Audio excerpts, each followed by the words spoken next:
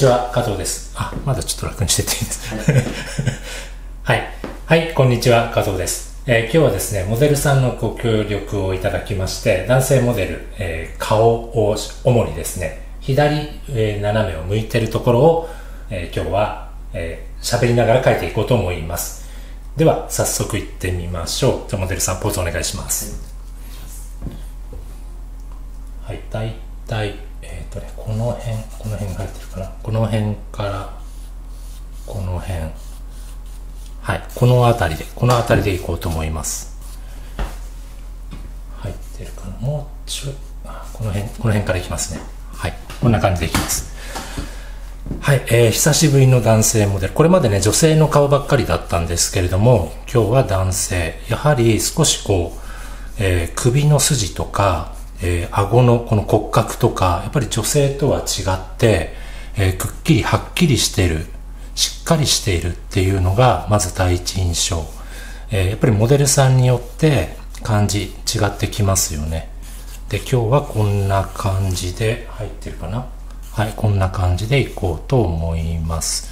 えーいつもと一緒です。まずは顔の中心、正中線。今回はちょっと顎を上げてというかね、斜め上を見てもらっているので、少し垂直、まっすぐよりも少しこう傾き気味に、ここを中心にしています。で、目のあたり、眉毛、目、鼻、口、顎、えーで、鼻の、えー鼻の下側が少し見えています。で、この、えちょっと上を向いてるっていう感じを出すためにも、鼻の位置に対する耳たぶの位置ですね。この顎のエラの位置のちょっと上、この辺りに耳が来るというのをしっかり捉えておきます。さあ、どうかな？ちょっと顔が横に広がっちゃったかな？少しシェイプアップします。向こう側のほっぺたどの辺かな？この辺かな？そして目元、髪の毛がかぶさっていて、ここ髪の毛のボリュームですね。はい、これもまあいつも通りですね。あの、形を確定する前にもうすでに調子をつけていっています。大まかな調子、明るい暗いっていう調子をつけながらシルエットで見ているのが今、この頭の形ですね。髪型も含めたシルエットでまず捉えてみます。どうかな？こんな感じかな？こう来て、こう来て、まあ、一筆書きじゃないですけれども、外側のラインを見ているところです。で、今、今回もいつもの通り、右上から光を照明を当てて、左下に影ができるように陰影を作っています。はい。えっ、とね、ここで一つポイントなんですけれども、顎があって首があって、皆さん首をね、こう長く描きたがるんですが、実はこの首の後ろにここですね、三角形のこう筋肉がすぐにこう、背中側から、僧帽筋でしたっけ？こういう筋肉がね、こうスッとこ、うここにこう入り込んでくるんですね。なので、ここはね、手前のこの首の長さに対して後ろ側ってね、ちょっと短く見えてることが多いと思います。で、ここ鎖骨が終わって肩の骨。ここ鎖骨ですね。で、これ首の筋。で、ここ喉仏。前にあの女性モデルさんの時にお話しした、ここで一旦ね、喉仏のあたりで一旦こう首が一区切りついて、その下、鎖骨の中心でもう一回区切りがつくと。ここですね。ここの位置。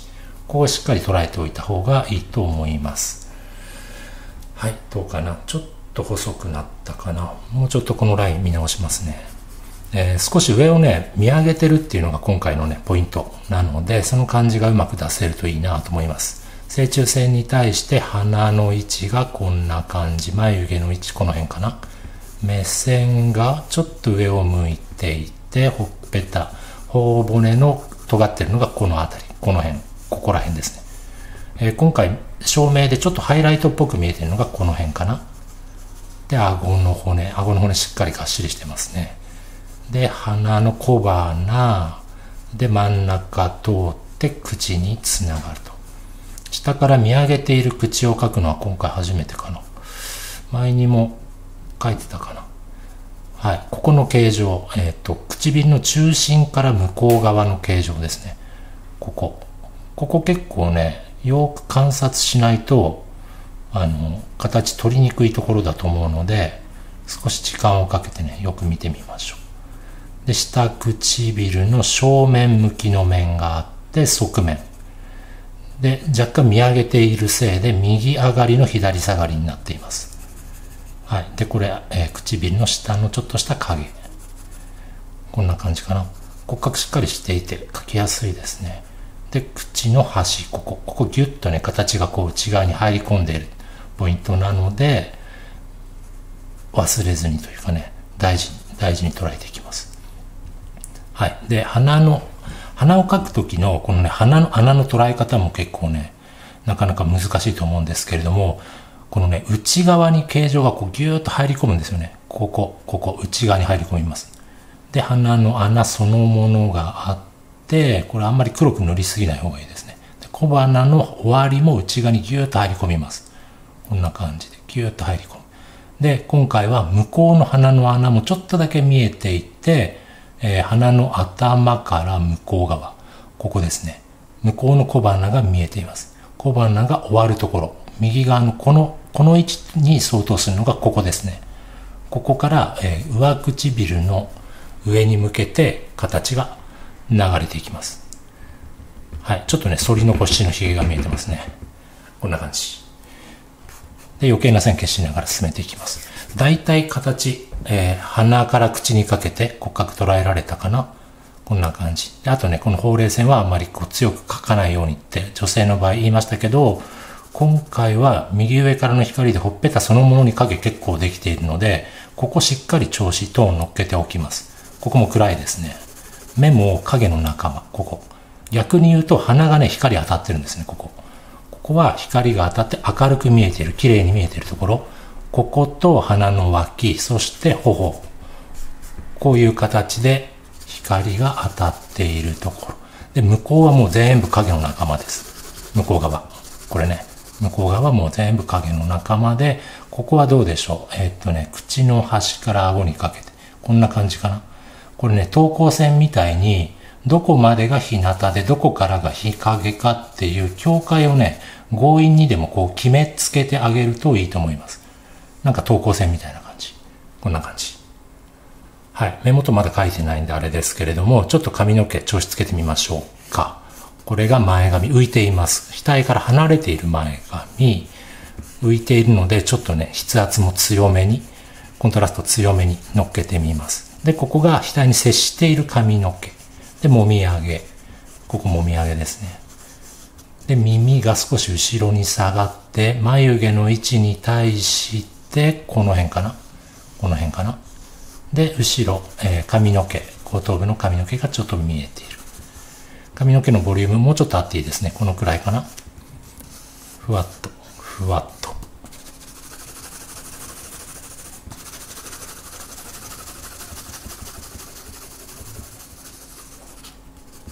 はい、ここちょっと額見えています。少し額が見えていて、えー、眉毛じゃなくて眉毛が乗っかっているこのね、目のくぼみの上ってこれ骨が、骨に触れるところなんですよね。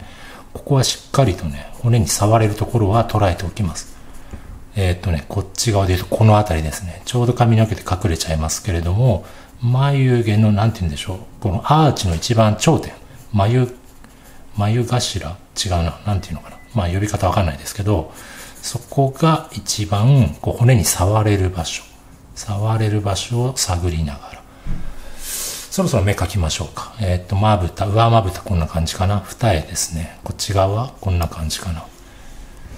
はい。そして眼球が黒目があって若干上を見上げています。まつげが見えますね。ちょっとね。こっち側はどうでしょう。もう少し目引っ込んでた方がいいのかな。この辺か。はい。はい。黒目入れます。上を向いているので下まぶたが少し膨らんで見えますね。ここ、ここ、なんて言うんでしょう、涙袋っていうのかな。がね、少しね、若干上向きに目を見上げた時に少し膨らんで見える。そしてこの内側見えてますね。白目の、白目とまぶたの内側の間、ピンク色の名前、呼び方わかんないですけれども、なんか見えてる。で、ハイライトが入って黒目。ここにもハイライト入ってますね。白目と黒目にこうまたがるようにハイライトが入っているのは見逃さないようにしましょう。これ入れるとね、生きている感じがすごくはっきりします。で、下のまつげもちょっと見えています。はっきり見えています。で、ここら辺から影が始まって、この辺くらいですね。ここら辺くらい。こんな感じどうでしょうこんな感じでここ少し引っ込んでいてへこんでいて眼窟というか目の穴ぼこですね目の穴ぼこがここにあってここもちょっと暗いか、まあ、寝不足ではなくてもこのね目の下のね暗いクマじゃないですけども影しっかり入れておきましょうあ、面白いですね。ここね、ここの感じね。はい、向こう側の目も描いていきます。えー、これもやっぱりこっちと一緒で、左下がりの形状。ここ、こう下まぶた。で、眼球があって、まぶたが回り込んでいます。ぎゅーっと回り込んでいる。二重のまぶたが向こうに回り込んで、まつげがちょっと見えている。こんな感じかな。はい。えー、ハイライトを入れて黒目ちょっと塗ってみますね。どうでしょう。ここちょっと膨らんでいます。ぷっくりと。内側。目の位置ちょっとずれましたね。修正します。もうちょい下げて、黒目が下がって、まぶたの位置。この辺かな。はい。もうちょっと内側に近づけてみます。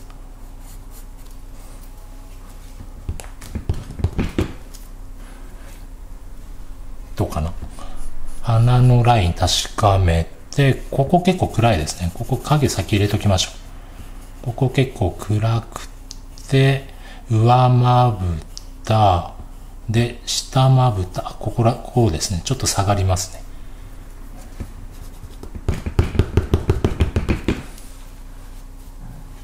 はい、もう一回見直します。上まぶた、回り込んで。これが内側の、目の内側の。で眼球黒目が外向きというか上向きに向いていて下まぶたが結構かぶさってくるんですよねで涙袋ちょっと膨らんでいるところ。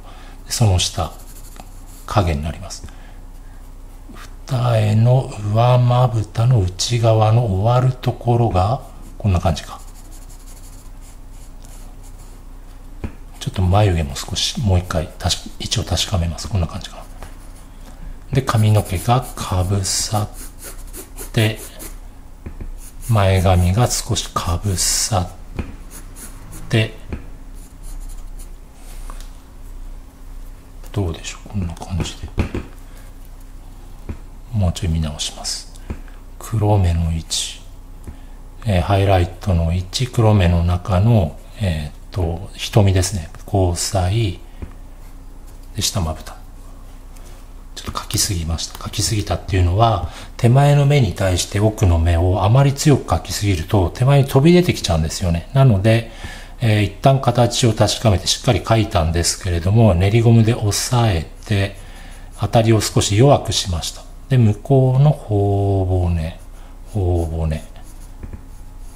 ここも影ですね。ここも影。うっすらと影、鼻の影ができています。ここも影。そしてここがちょっと反り残したひげがあってここ口の脇少し膨らみがあります。ここですね。ちょっと膨らみがある。で書きながら形もねちょっと見直していきます。上唇の位置確かめていきます。こんな感じかな。あいい感じですね。でこれ下唇上唇口の端ここです。こことここです。はい、上唇回り込んでいます。ぎゅっと回り込んでいる。下唇は少し飛び出る感じ。ここは影になっていますね。ぎゅっとぎゅっと内側に。顎の先端、ちょっと梅干しができそうな感じですね。ここね。ぎゅっと入り込んで、顎の先、あ、面白い形してますね。で、ここが一番光と影の境目、顎の下影。ちょっと調子をつけていきます。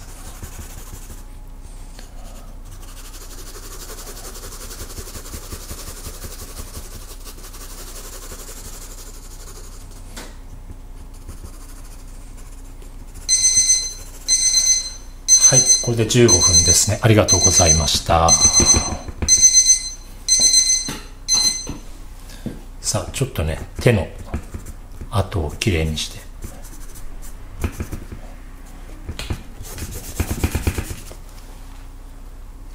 はいこんな感じで15分。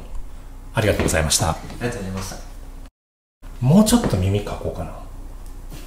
あとあと5分いいですか？はい。お願いします。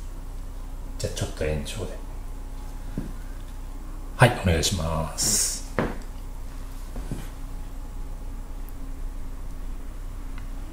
はいちょっと全体見直します。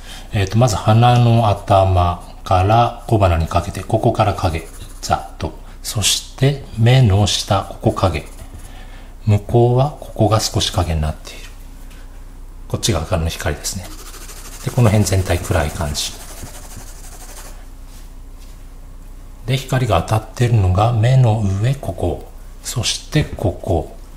で頬頬は頬はここでも影になってますね。ここは影になって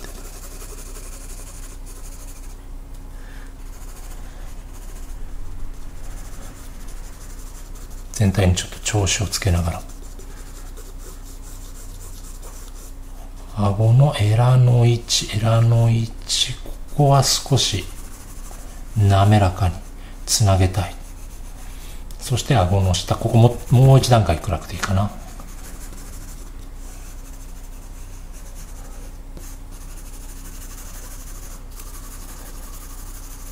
で耳ちょっとかきます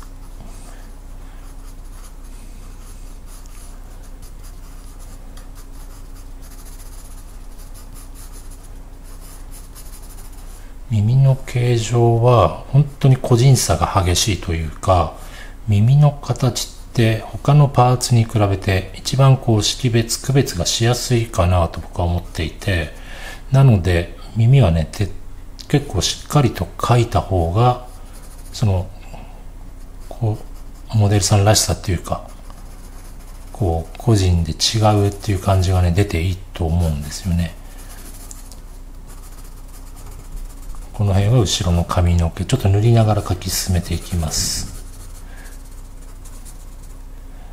でこの鉛筆の動かし方なんですけれどもこれもやっぱりね決まりはあるわけじゃないんだけれどもちょっとこう髪の毛の生え際なんかは細かくこうちょこちょこと動かすようにして短い毛が、えー、産毛みたいなね短い毛がこう重なってるような感じを出したりとかそれぞれのパパートに応じて質感をねこう少し鉛筆の動かし方を変えながら書き分けていきます。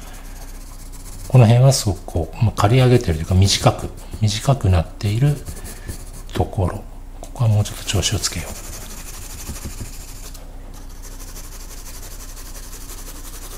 えー、今ここまで全部、えっ、ー、と、ユニの 6B で書き進めてきています。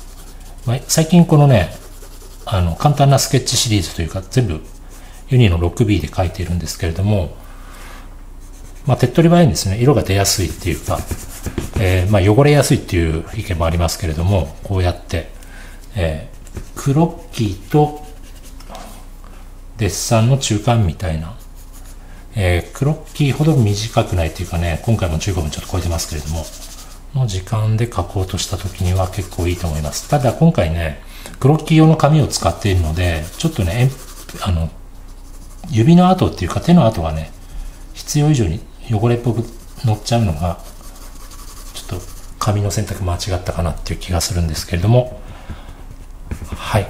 この辺で、この辺で、一区切りつけようかと思います。これで指の汚れ消えたかな？はいどうでしょう？こんな感じで。はいモデルさんどうもありがとうございました。今日はここまでで。一旦完成ということにしましょう。はい以上で今日の動画は終わります。それではまた次の動画でお会いしましょう。さよなら。